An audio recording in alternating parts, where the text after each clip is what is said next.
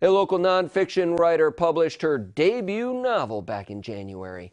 Jennifer Corrigan has also done some freelance and copywriting as well, but had never before written a novel.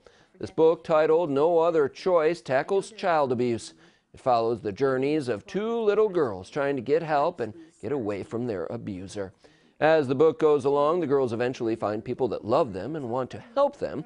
Corgan believes the subject is not talked about enough, and she wants readers to know that there is always someone out there willing to help.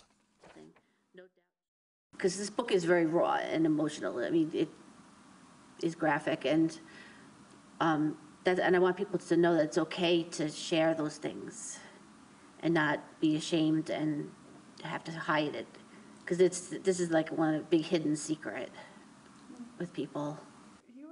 Part of the proceeds from sales of the book are going to the Hannah House in South Carolina, an organization that offers counseling for girls dealing with child abuse.